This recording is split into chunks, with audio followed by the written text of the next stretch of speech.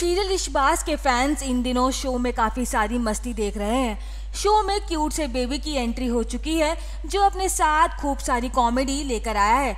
Oberoi brothers को मिला ये क्यूट सा सरप्राइज़। उनकी रातों की नींद और दिन का चैन उड़ा चुका है। तीनों को समझ नहीं आ रहा कि आखिर ये बच्चा किसका है और कहाँ से आया है।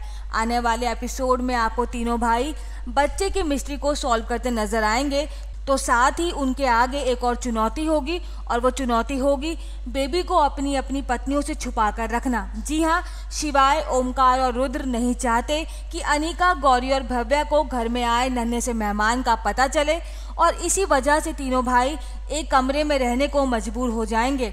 उधर तीनों ओबराय बहुएँ भी शिवाय, ओमकार और रुद्र का स्ट्रेंज बिहेवियर देखकर समझ जाएँगी कि दाल में ज़रूर कुछ काला है, जिसके बाद शो में शुरू हो जाएगा जासूसी का दौर। अपकमिंग एपिसोड में अनिका, गौरी और भव्या तीनों ओबराय ब्रदर्स की जासूसी करती नज़र आएँगी। तीनों ये पता लगाने की कोशिश करेंगी, आखिर ये तीनों भाई क्या छुपा रहे हैं? वेल ये ट्रैक काफ़ी दिलचस्प होने वाला है।